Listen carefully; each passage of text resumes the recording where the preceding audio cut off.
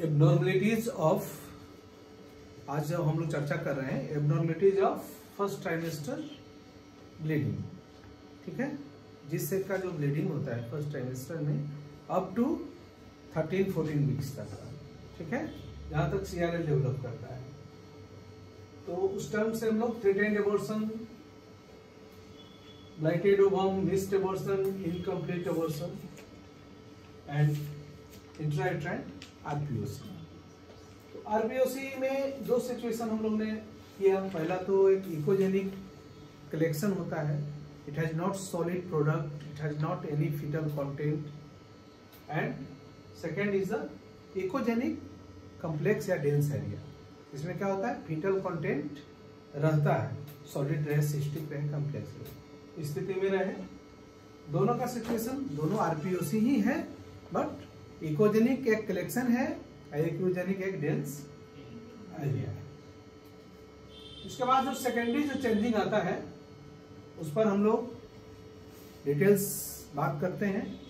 पहला, जब सीआरएल के बाद कोरियोन डेवलप करता है तो उस कोरियोन में क्या होता है? हेमेटोमा होता है। कोई इकोजेनिक डेंसिटी का एरिया आ जाता है इसी कारणवश चोट लगने से हेमरेजिक स्टेज होने से क्या होता है? रेट्रोप्लासेंटल हेमेटोमा आ जाता है। ये कहीं भी हो सकता है मिड प्लासेंटल में लोअर एज पर अपर एज पर कहीं भी हो सकता है। सोनोग्राफिकली जो अपीयरेंस आएगा, वो क्या आएगा? इकोजेनिक डेंस एरिया मतलब जो प्लासेंटल का जो इकोजेनिसिटी है नेचुरल नॉर्मल उससे इसका डेंसिटी हाइपो हो जाएगा। ब्लैकनेस बढ़ जाएगा। समझ गए? इस स्टेज में डीप ब्लीडिंग होता है बट यहाँ हमारा क्या सेकेंडरी प्रेजेंटेशन क्या मिलेगा? कि एम्ब्रियो का फिटल फोल का एफ़ एच आर विजुलाइज होगा। ठीक है? मतलब एफ़ एच आर नॉर्मल है एम्ब्रियो नॉर्मल है मोमेंट नॉर्मल है, और रेट्रोप्लासेंटल हेमेटोमा आ रहा है। ठीक है? तो ब्लडिंग का काउच लास्ट जो सिचुएशन होता है मिस्ट एबॉर्शन होता है। मिस्ड एबॉर्शन में क्या होता है? कि हमारा सीआरएल जो एम्ब्रियो है, उसमें मूवमेंट नज़र नहीं आएगा कार्डिक एक्टिविटी नज़र नहीं आएगा।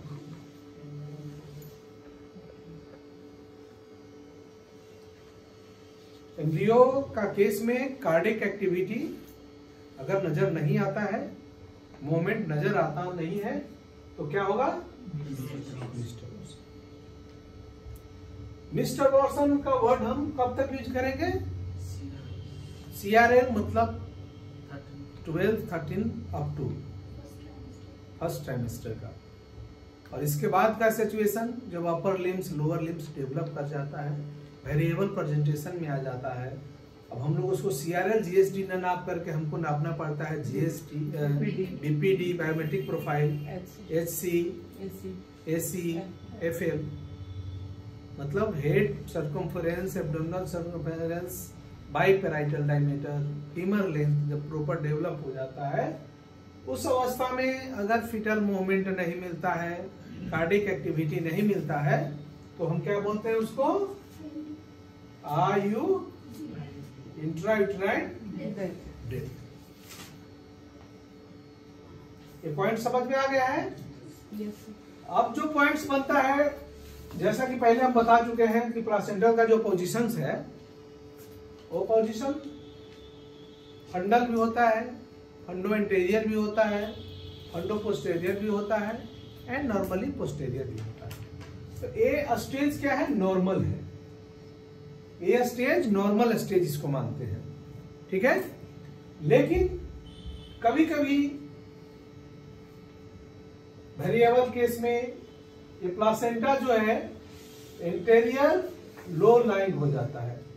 प्लासेंटा प्रिविया का केस आगे हम लोग पढ़ेंगे, लेकिन इसमें क्या होता है सीआरएफ के स्टेज में प्लासेंटा जो जो कोरियोन डेवलप करता है अर्ली स्टेज में, वो कोरियोन इंटरनल ओएस तक का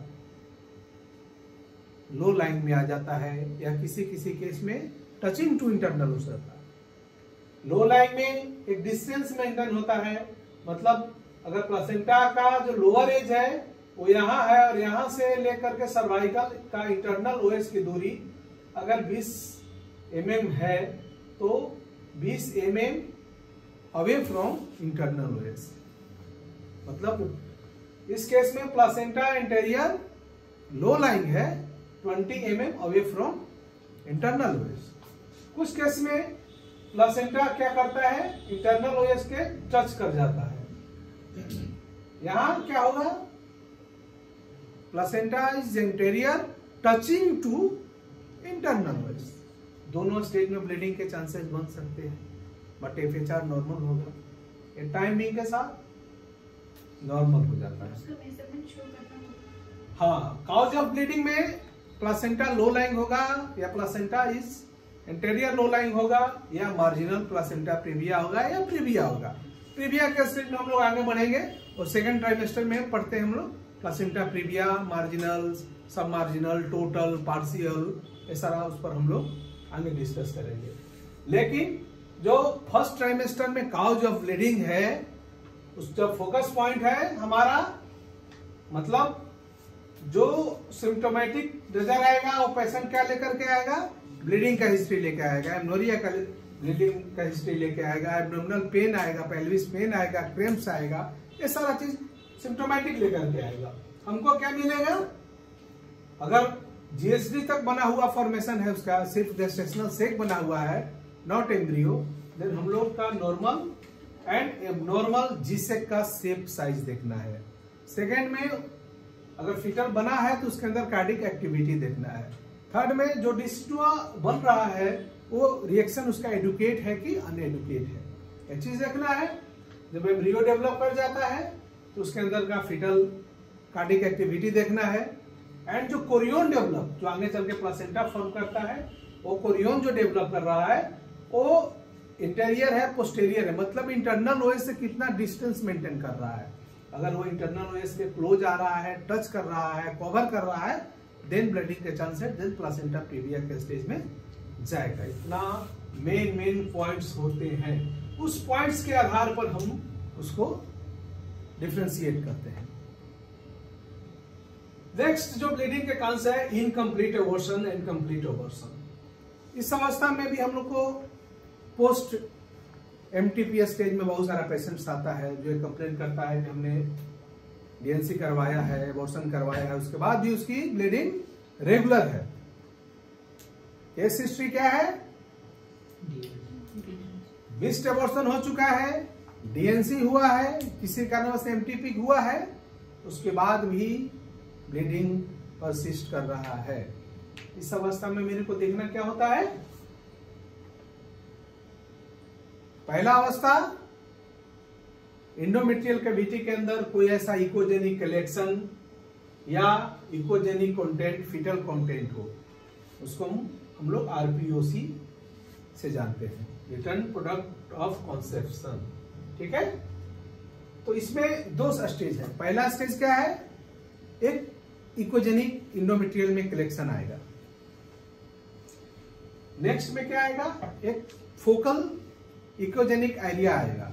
Likely to be fetal content दोनों स्टेज में आरपीओसी है और लेकिन प्राइमरी स्टेज इकोजेनिक कलेक्शन में आफ्टर किसी कारणवश जो है जीएसडी गेस्टेशन से बहुत अर्ली स्टेज में जो एमटीपी होता है, उस स्टेज में हम लोग को फिटल कंटेंट नहीं मिलता है। लेकिन सीआरएल बनने के बाद या और भी एम्ब्रियो डेवलप करने के बाद जो कुछ कंसेप्शन बच जाता है, उसको फिटल कंटेंट बोलते हैं। मतलब इनकम्प्लीट एबोर्शन का भी केस इसी स्टेज में आता है।